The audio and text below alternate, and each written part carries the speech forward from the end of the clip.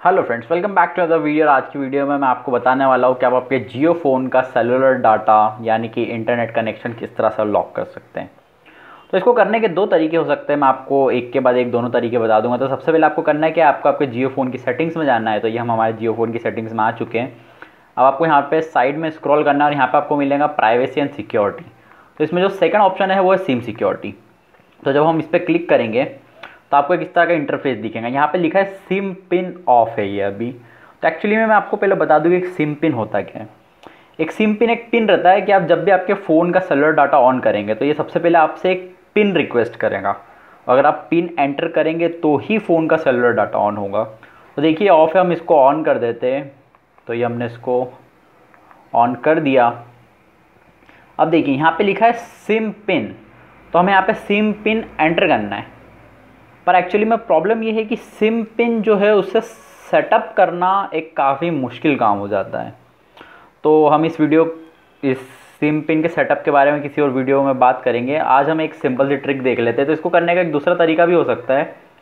कि आप सीधे अपने सेटिंग्स में ही नेटवर्क एंड कनेक्टिविटी में आ जाइए और यहाँ पर आपको सेकंड नंबर पर दिखेगा मोबाइल डाटा तो यहाँ पे जो मोबाइल डाटा है, यहाँ पे आपको लास्ट में दिखती है एपीएन सेटिंग तो एक्चुअली पहले क्या होता था? कि पहले जब हम एपीएन में जाते थे तो इसको यहाँ पर एक डिलीट करने का ऑप्शन भी आता था। तो जब हम एपीएन को डिलीट कर देते थे तो फ़ोन का इंटरनेट कनेक्शन लॉस्ट हो जाता था, पर अब इन्होंने ये डिलीट करने का ऑप्शन हटा दिया है। तो इसका हम ये कर सकते हैं कि आपको कुछ नहीं करना है आप किसी भी एक करियर्स में आना है। यहाँ पे आपको जो नेटवर्क टाइप है ऑटोमेटिक पे तो हम इसको ऑफ़ कर देते हैं। तो अब ये मैनुअल पे हो जाएगा। तो देखिए, यहाँ पे अब ये नेटवर्क सर्च कर रहा है तो एक्चुअली हम करने क्या वाले हैं, कि हम इसको जियो के कनेक्शन से हटा देंगे।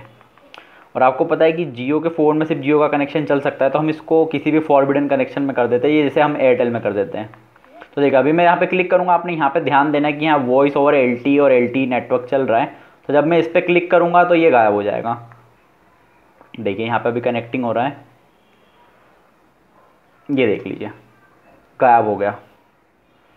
आपके फ़ोन के सारे नेटवर्क्स गायब हो चुके हैं और आपका इंटरनेट लॉक हो चुका है। अब अगर हमें इसे ऑन करना हो तो इसके लिए कुछ ज़्यादा कुछ करना नहीं पड़ता है। ये भी ऑफ़ हो चुका है।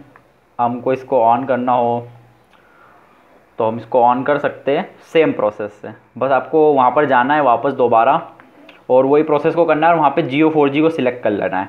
तो इस तरह से आपका इंटरनेट लॉक एंड अनलॉक हो जाएगा। तो ठीक है गाइस आज की वीडियो में इतना ही। हम दोबारा आएँगे हमारी नई वीडियो के साथ। तो ठीक है बाय